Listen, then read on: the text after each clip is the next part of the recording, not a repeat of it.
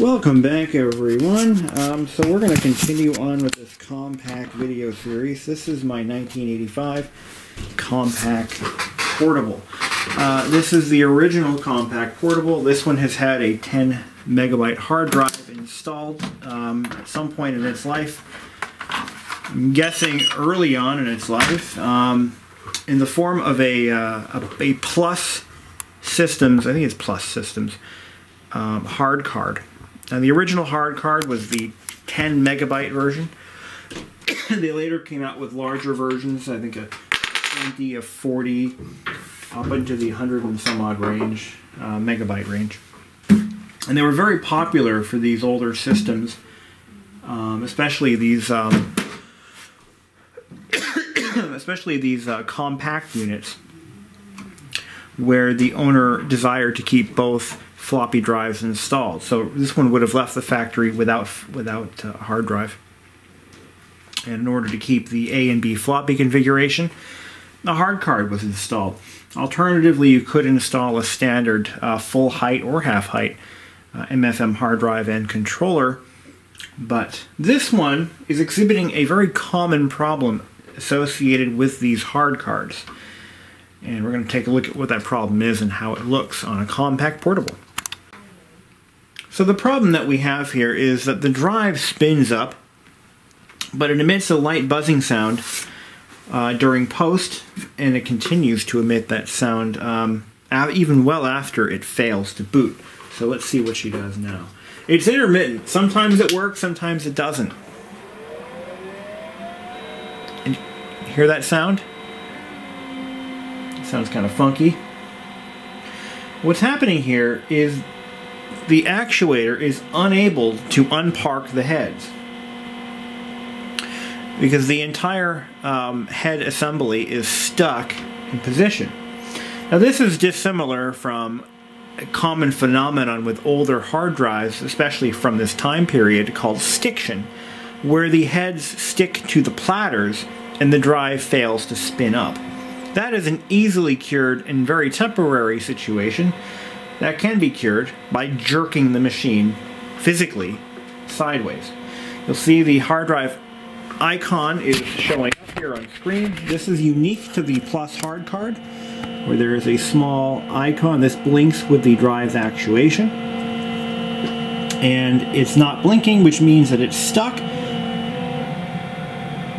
And it's going to fail out on us. There it goes. Controller number zero error. So that's what's happening here.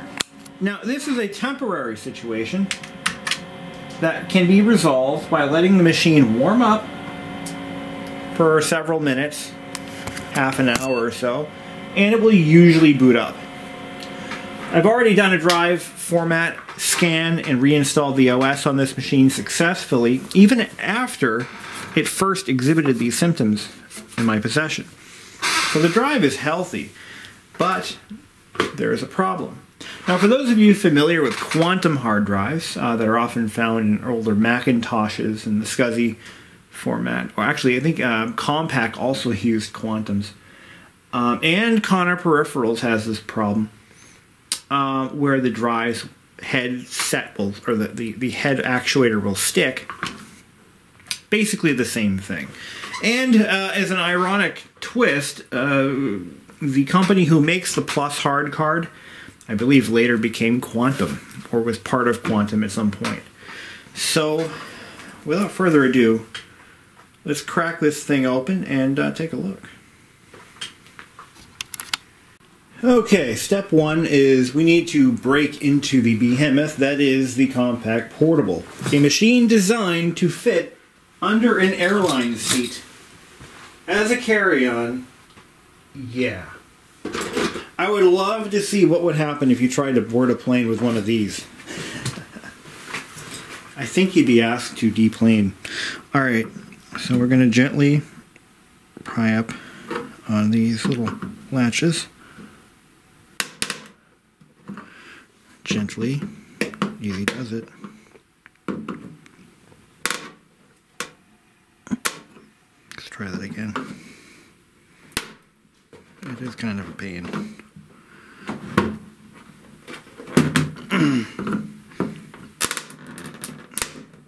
and we'll get a good look at uh, at what lies beneath. So, yeah, the the the. Uh, there we go. Come on, baby. You don't want to break the latches because, you know, they don't really sell parts for these anymore. Well, except for those keyboard parts. Try. Oh, there we go. All right. Inside the Compaq portable, you'll find a series of two cages here and there. The high voltage cage contains all of your CRT circuitry and all those goodies. Okay, so this cage contains our I.O. devices, and we're just going to loosen up these screws. We don't need to take them completely out. Just loosen them up. The Compaq portable is quite serviceable. Um, no special tools needed, really. Uh, you can make all CRT alignment adjustments with a simple alignment tool by using these holes, and they're all labeled. So it's pretty cool that uh, they kind of made serviceability a thing with this machine. And I suppose that might have something to do with the fact that computers were still hobby horses in 1985. Then there's this random one over here that requires either a wrench or a nice pair of pliers to loosen. I don't know why they did that. Loosen it a few, a few turns. At this point, to be able to lift the entire I.O. cage completely out of position.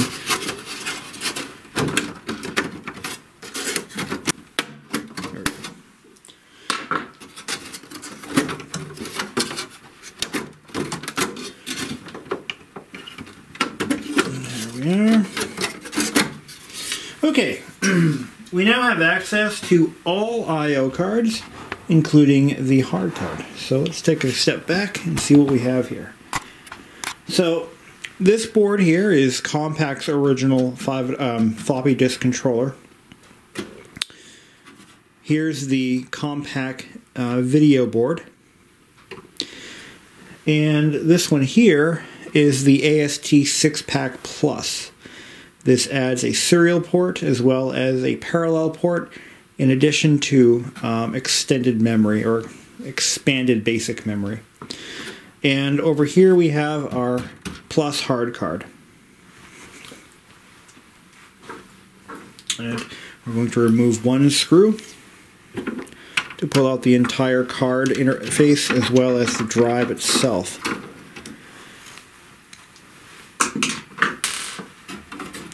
And we're just going to grasp firmly by the frame, lift it out of its socket.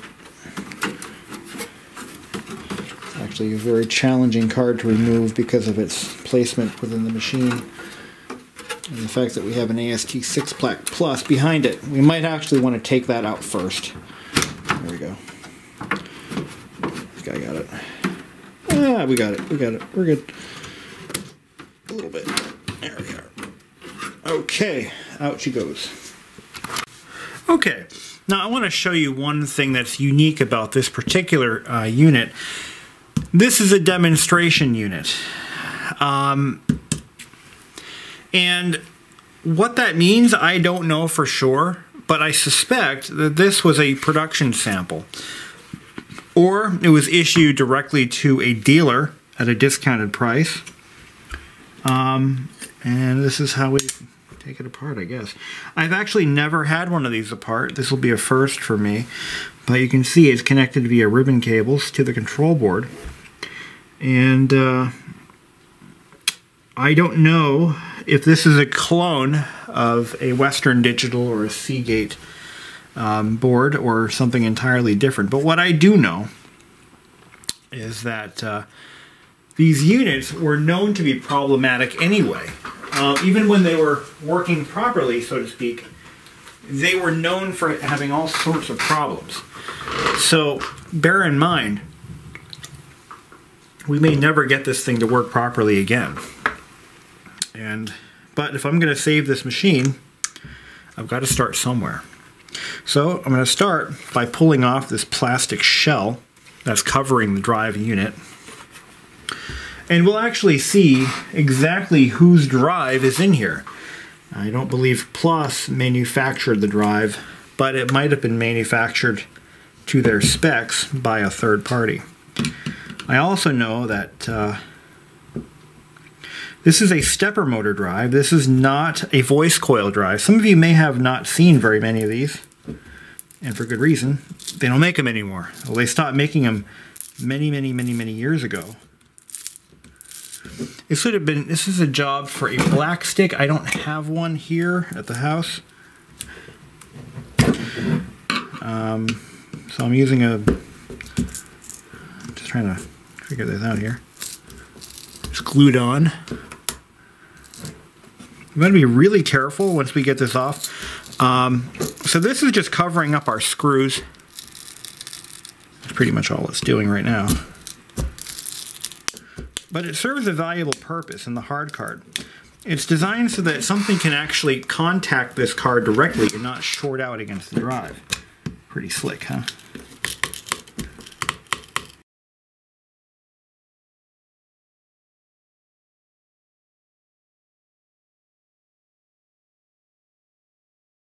Okay, so we got the we got that all apart. Now here is a, a standard three and a half inch drive for comparison. Same thickness, but this one's a little bit longer, and it doesn't really have the same mounting holes. Actually, it doesn't really have any of the standard mounting holes. Um, so it's definitely a unique, a unique unit.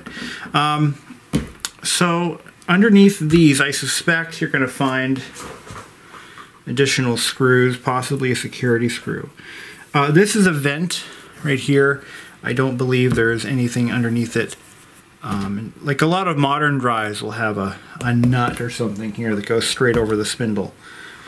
So what we're going to do now is dig up my screwdriver set, which I have over here. We don't want to be using any magnetic screwdrivers um, for obvious reasons. If we do, we may end up having to low-level format this sucker, which I do not want to do. So let's see what's under here. It's okay if we break any seals because nicely enough that cover goes right over everything. Yeah, I think there's a screw here.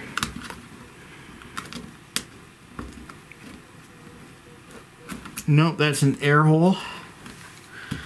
And this one probably the same deal.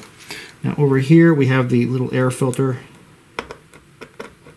And I don't believe there's anything there either. Let's pull it up a little bit. Nope, that's just an air filter.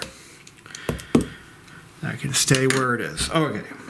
All right, let me get a non-magnetic Phillips.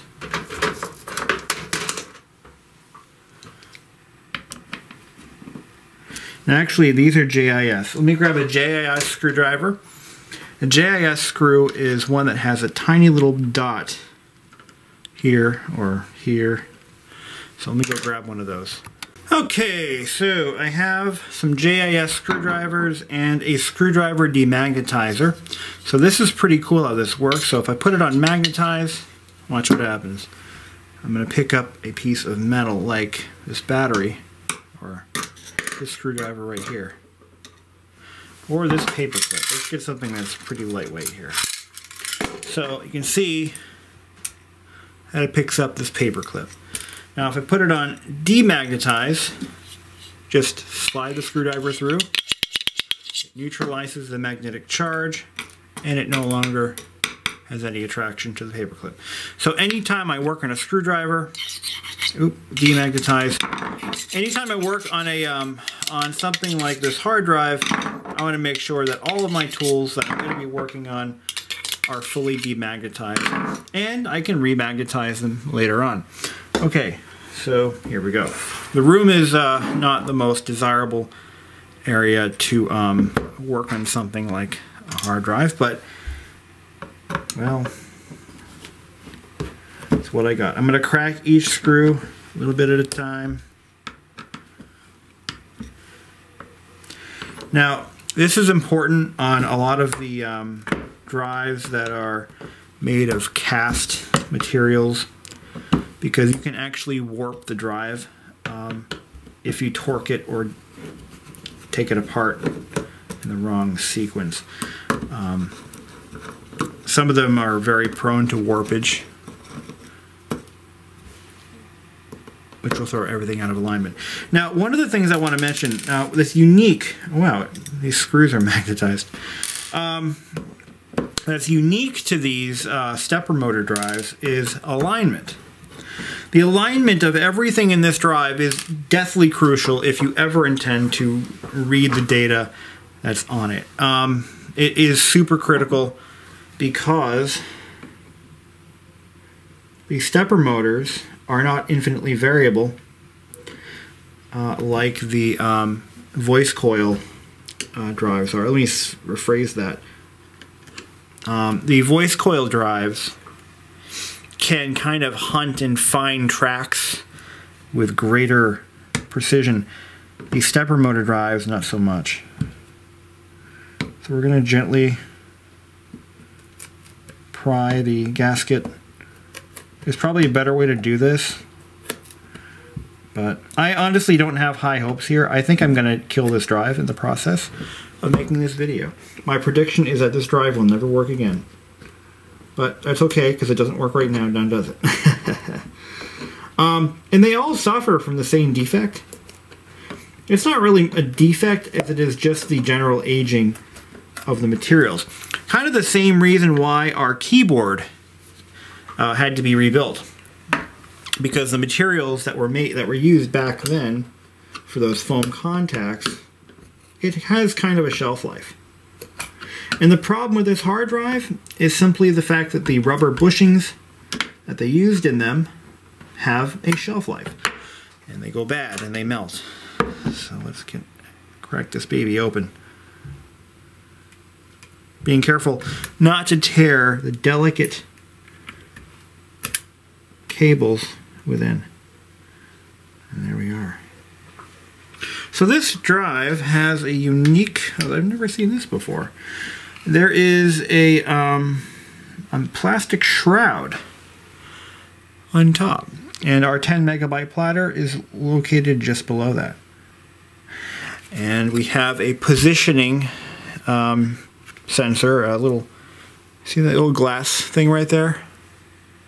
Right here. That is so that it can tell the controller what position the head is in. That's kind of neat. This is our actuator motor. Uh, does it have one? I see a bearing for. I see a voice coil actuator in there too. Oh, that's different. So this actually is a voice coil motor. I'm sorry. This is not a stepper. It has a voice coil. And this plastic thing here, I can touch that because it's not a platter. I've never seen one like that before. Um, this is designed to create, or to help with the um, Bernoulli effect, to allow the heads to float. That's different. And, oh, there's our little bumper. I see the bumper. Okay. And what's happening here is that bumper is causing the head to stick. Now, this is going to be a bit of a challenge to repair for a couple of reasons. Um, so I'm going to show you what happens to these little bumpers. So we're going to use this screwdriver here it is magnetic. Let's make it not so. Let's demagnetize it real quick.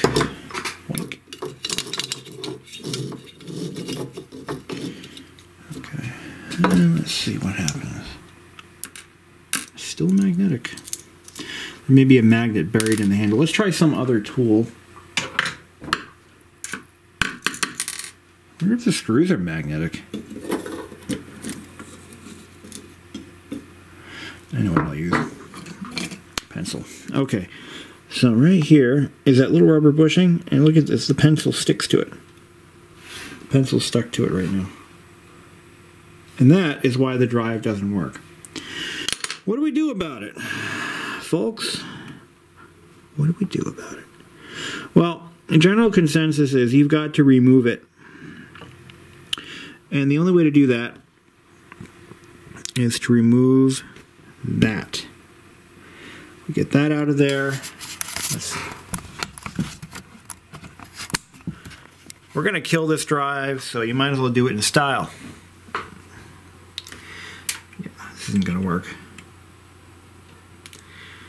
Um, all right. I'll see, uh, unplug this. Okay. And that's going to want to come out with all that too. We need to remove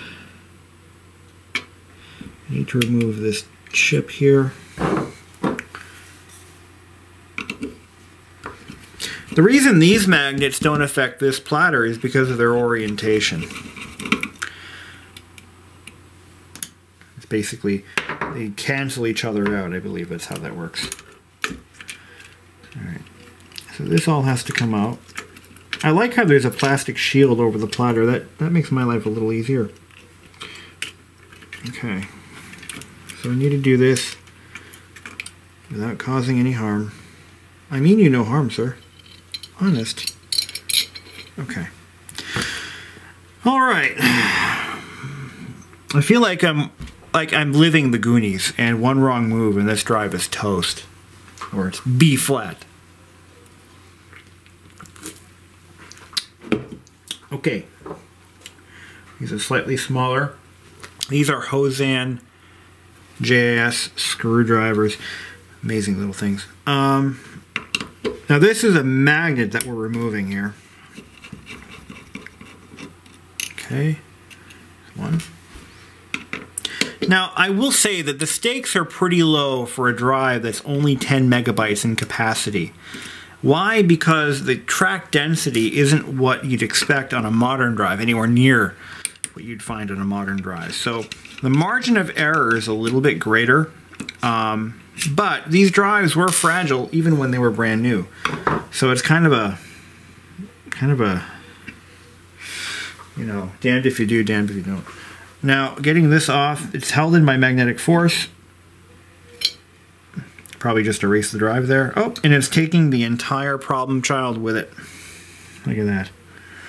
This is our problem child. We got to get this sucker out of here safely. And we got to build up a new one with shrink tubing. That's going to be fun. So I'm going to get a measurement on its size. I'm going to use my digital caliper here.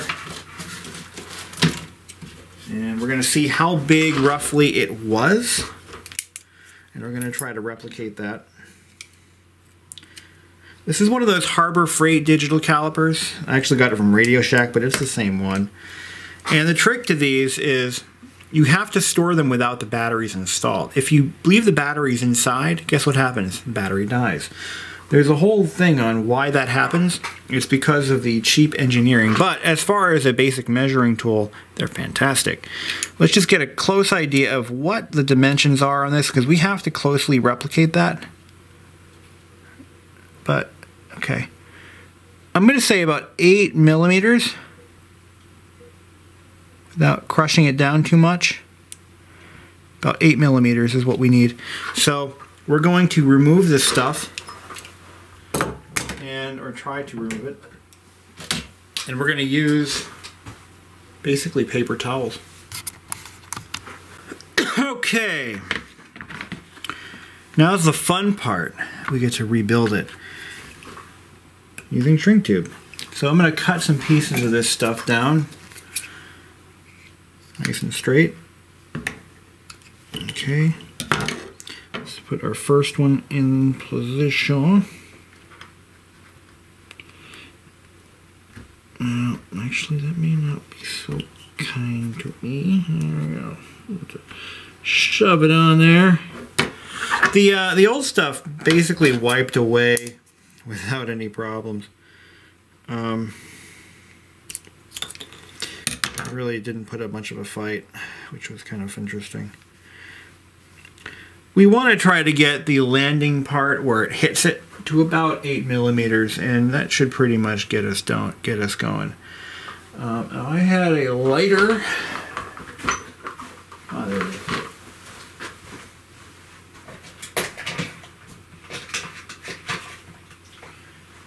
do you think I should title this video? Repairing a hard drive with parts from Harbor Freight.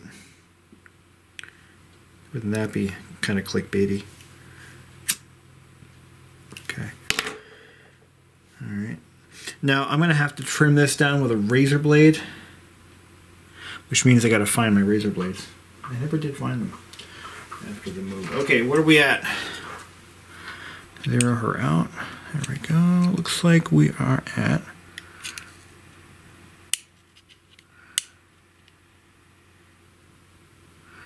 five point nine. Get the the remnants of the old stuff off of my calipers. Alright, here we go. Let's put one more layer on there. Actually, I think one more should do it. I'm going to have to go up to a slightly thicker or slightly bigger material. It's going to be this one here. Okay. Trim it down.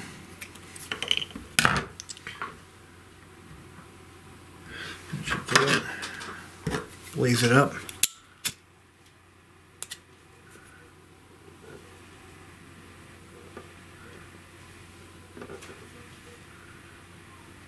Blaze it, baby. And I'll have to trim this a little bit. If I get it anywhere close to 8 millimeter, I know I'm okay because it wasn't really a precision measurement anyway. What do we got? 5.8. 5.8, right? Yeah. Okay. 7. See how close we can go. One more piece. Trim it down. The real bear is the fact that we have to get it over this lip. Yeah. Really not a big fan of that.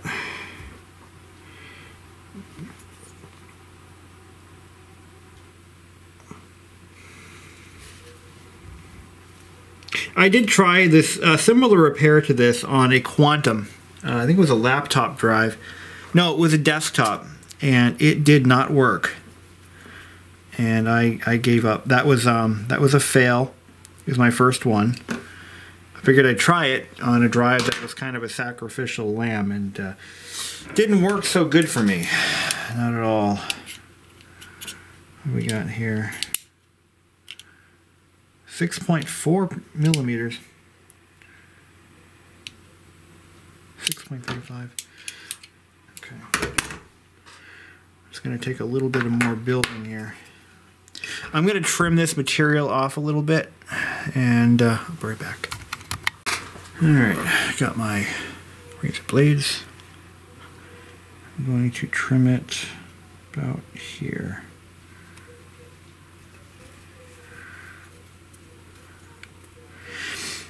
This lip of excess material is preventing me from putting more uh, shrink tube in place. So we want to eliminate it.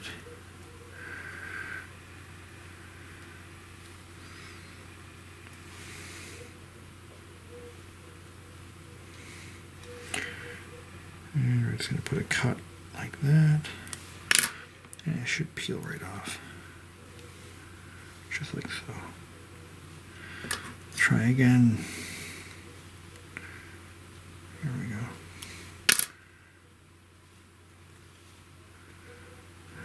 Almost there. Almost there.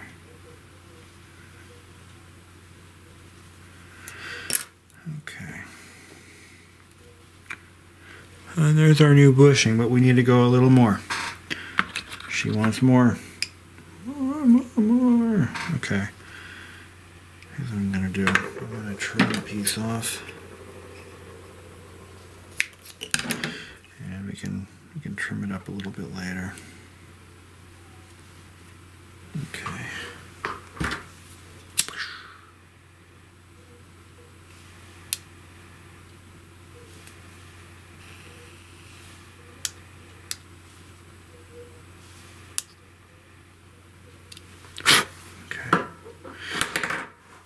Thickness, please.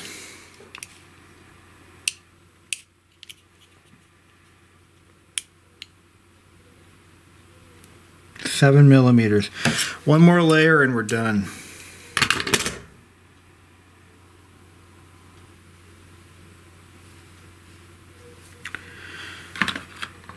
Okay, I think I had one already going here. Yeah, I think one more layer. One more layer should do it. Alright, here we go. That's too thick. Too thin, I mean, it's not the right diameter. It's not going on. Mm-hmm.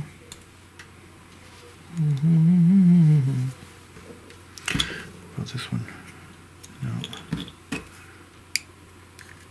Oh, there we go. You know, just ram it down, lamb down. Get it on there. Come on, come on. Kind of wonder though if it was originally smaller than that and it had just swollen to that 8 millimeter size that we got You know what I mean? Let's try something a little thicker. Has the same stuff. Yeah. I don't want to go any thicker because the next step I have is way too thick. Way too thick. I say heat it up, but, well, I think you, you see the flaw in that logic already. If I lick it, get it wet. It'll slide a little nicer. Put a little butter on it. There we go. And almost there. Let me turn this down. And we'll we'll take the razor blade to it after and and finish finish the install.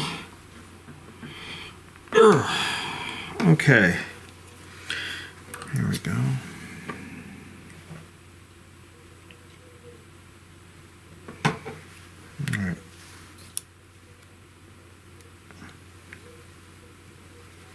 Can he do this without cutting himself?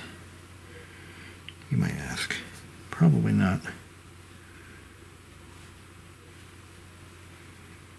Okay.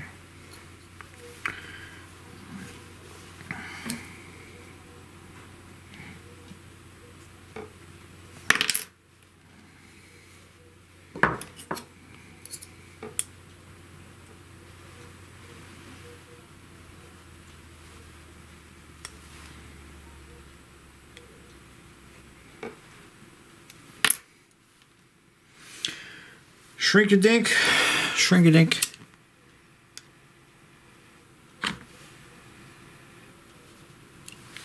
All right, zero, good. What do we got? Tell us what you've won. Seven point sixty-two millimeters. Seven seventy. I think that's close enough. Like I said, uh, it's a possibility, though, that the original rubber bushings had in fact swollen, so you've got to take that into consideration. Rubber doesn't usually... Well, some rubbers shrink, some rubbers swell. I mean, it depends on what the formula was, what the conditions were, but I'm going to err on the side of it's probably swollen. So what I just... Okay, so this aside. Okay. All right, now it's time to get this sucker back together again, huh? What do you think? All right.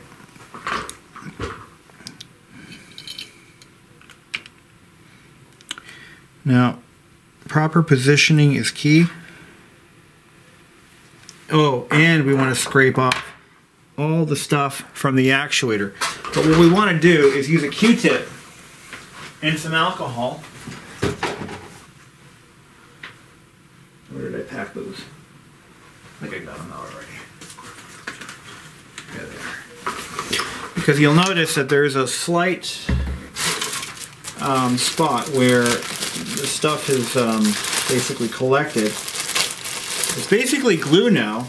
It's not rubber anymore, it's glue. Whatever bounces off to it will probably stick to you as well. So we're just going to try to not move the heads too much.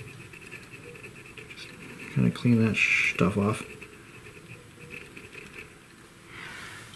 Fuck.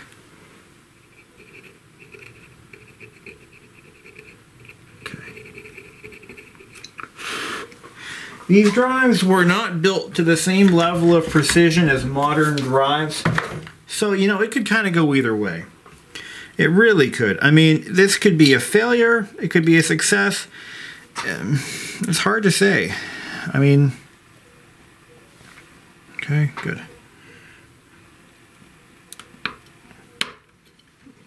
Probably going to be a failure. But that's just the pessimist in me.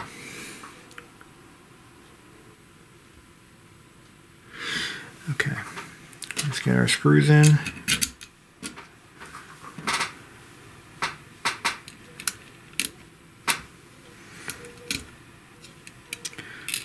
If it does work, what I'm going to do is put the cover, like the actual plastic cover back on. If it doesn't work, I'll just add it to my infinite pile of fail. Sound like a plan?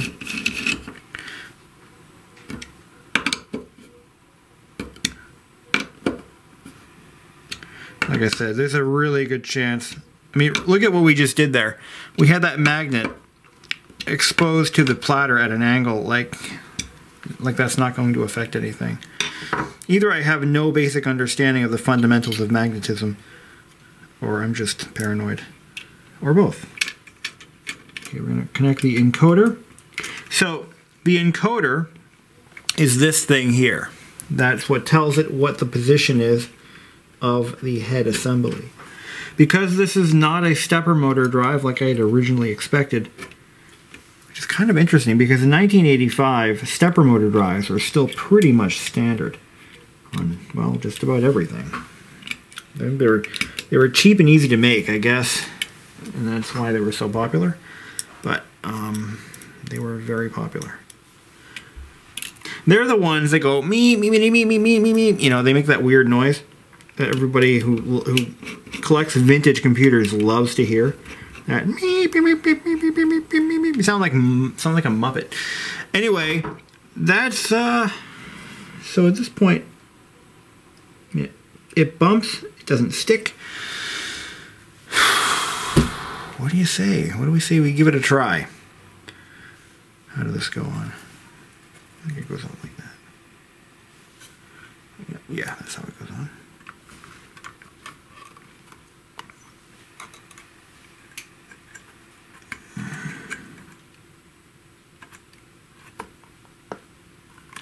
Did that, uh, yeah, leave it like that. Yep, okay. Just seems a little odd that that cable is folded this way, and well, I'm not so sure that's right or not. Or if it should go the other way.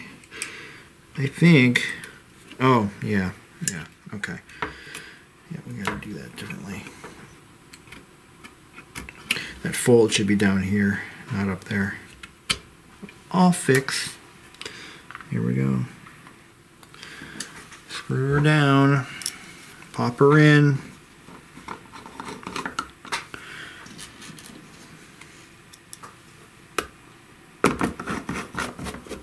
I bet that there was a few people out there that I could have sent this drive to that could fix this problem.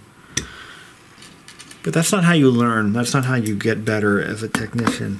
Not that there's ever going to be a pressing need for this kind of repair on these drives, but it's one thing I can say, hey, it's it's better to for me, it's better to say I fixed a 30-year-old hard drive with parts from Harbor Freight than it is to say I wrote a check to a guy to fix my hard drive the right way. No one ever, no one ever really, hey, loosen these up. Nothing good ever happens when you write a check. I mean that figuratively. I mean, nobody writes checks anymore. If you do, my apologies.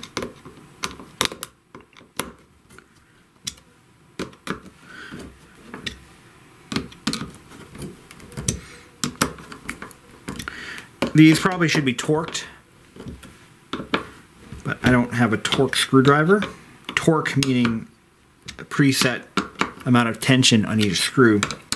I'm torquing it the redneck way or the the farmhand way where you do it by feel. Make sure they're all the same tension. Okay, let's put her in.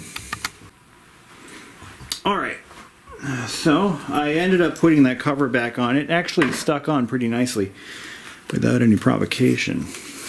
Let's wipe her down, put her in. Careful, careful, careful.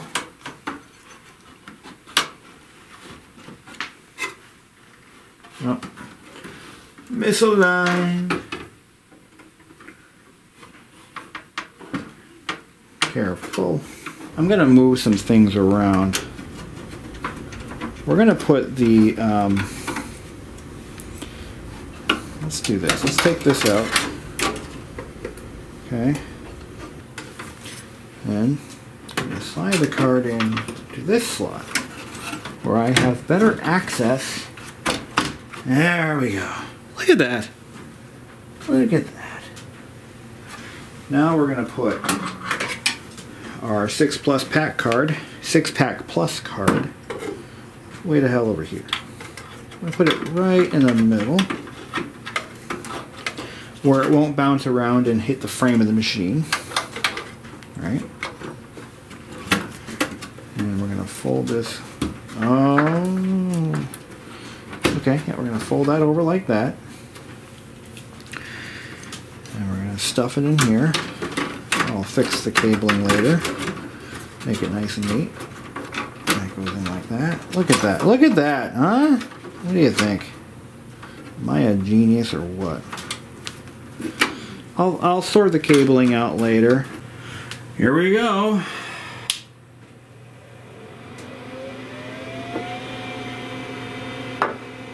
Ooh, that sounds promising. It's not buzzing.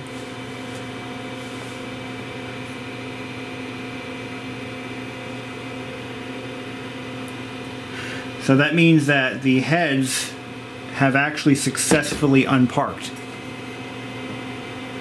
How do you like that? That's a good thing. and I think the controller readies itself that way, so I'm actually kind of optimistic. Cheers.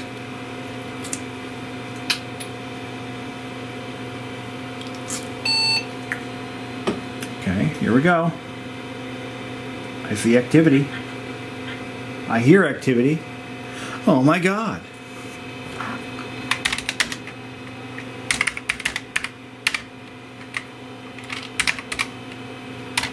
No shit.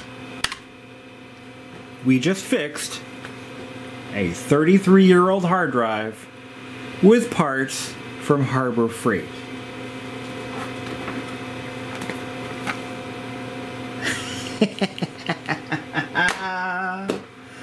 it works. It works. It works. It works. It works.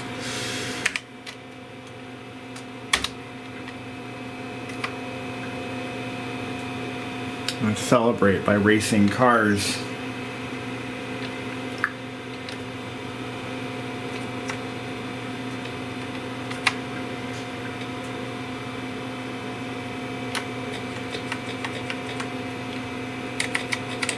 I forgot this game had sound effects.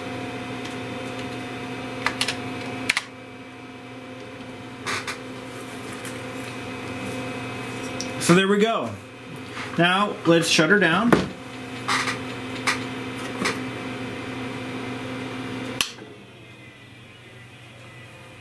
So you hear it automatically parks. It goes bunk. You hear a, it's like bunk little noise it makes when, and what that does is it's it's parking the uh, the heads to a safe landing zone. Um, so that's clearly, it does have an auto park feature. And in conclusion, I neatened up this cable. I folded it like origami. That's there was an art form to this at one time. I mean, you there really was. It was an art form. If you could do nice pleated cables, and I uh, resecured this card um, end piece. How that? I don't even know what that's called. Card retainer? Why not? And that's all resecured.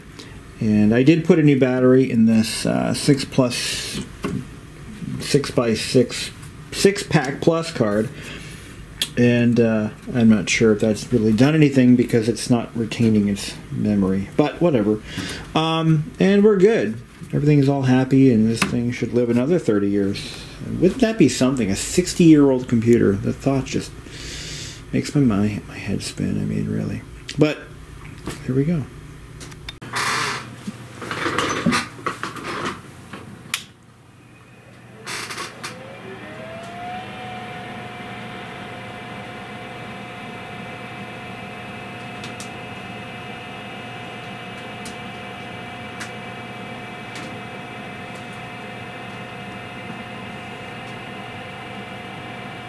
I have heard that these machines are known for bad tantalum capacitors on the logic board. Eh. I'm just hoping mine doesn't get hit by that one. I hear that's a real bitch to fix.